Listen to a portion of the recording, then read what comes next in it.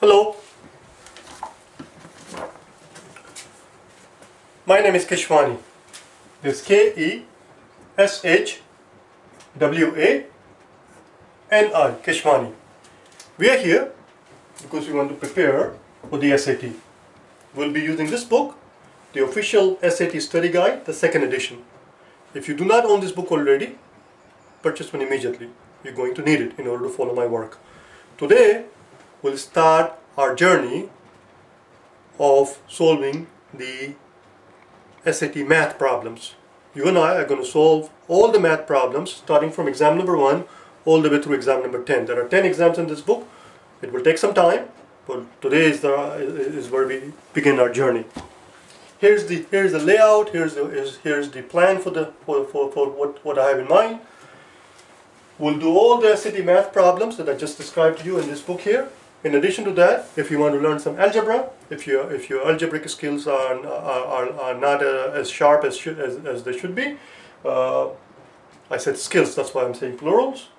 Uh, watch these videos. There are 200 videos on my channel that you will find. The first 100 videos deal with the algebra, uh, elementary algebra. There are 100 more videos that deal with the algebra word problems. Word problems are very important. They appear all the time on the SAT. In addition to that, you will find some videos that deal with geometry. These videos do not deal with geometry by topics, but I solve geometry problems and in the process of solving the problems, you learn the concepts. That's what it is. In addition to that, starting from today, you will also find on my channel videos that will help you improve your grammar. The writing portion of the SAT, the vast majority of the writing portion, the, the writing portion of the so-called writing portion of the SAT, the vast majority of your score in the writing portion of the exam actually comes from simple multiple choice grammar questions. Our job is to make sure that we understand the basic concept of elementary concept of English grammar. And we will do so by doing all the grammar questions out of this book. The very first question from grammar appears on page number 407. So this is the tag that you want to look for, SAT grammar, day one, and then page number. Even if you don't put the page number, if you just put in SAT grammar, day one, and with my name, it should pop right up. In addition to that, if you're interested in improving your reading score, the best thing to do to improve your reading score is to make sure that you improve your vocabulary. And you will find some vocabulary videos on my channel. Just look for them. Anyway, enough said. Let's begin. Let's begin our journey. So today we're doing the math question. Right now we're doing the math question. So I'm going to erase this bottom part.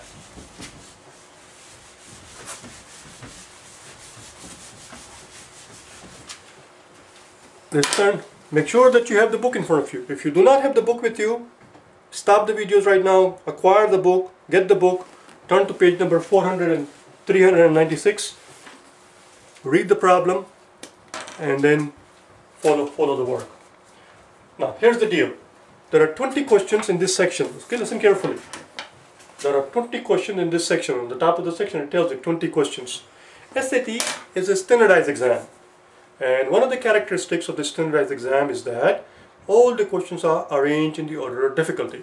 There are 20 multiple choice questions in this section.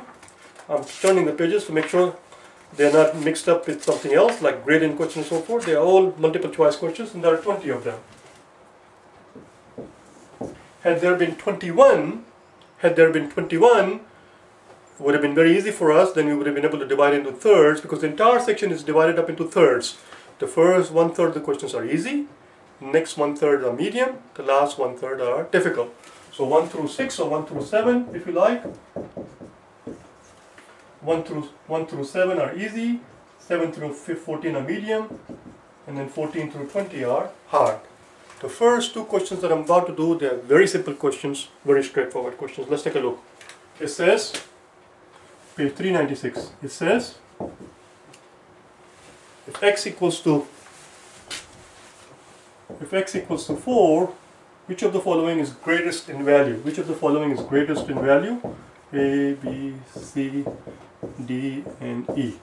The first one says x plus 1 x plus 1 would be 5 times x plus 2 which will be x plus 2 will be 6 5, 5 times 6 is 30 the next one is x plus 1 x plus 1 will be 4 plus 1 which is 5 times x minus 1 Well, since it's x minus 1, x is 4, is 3, this is already less than 30, so I don't, worry, I don't have to worry about what it is.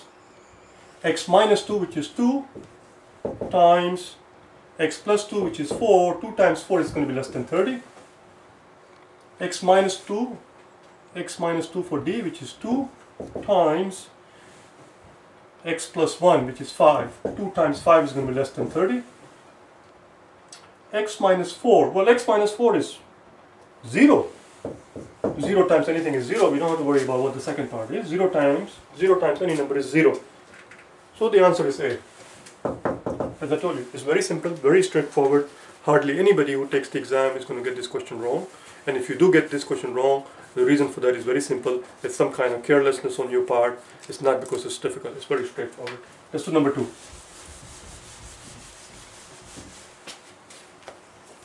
Train, trains A, B, and C pass through a station at different speeds. Train A's speed is three times train B's. So, so let's make a note. A is three times B. Or if you write it in equation, A, how do you write is in mathematical language? Is means equal. 3 times B.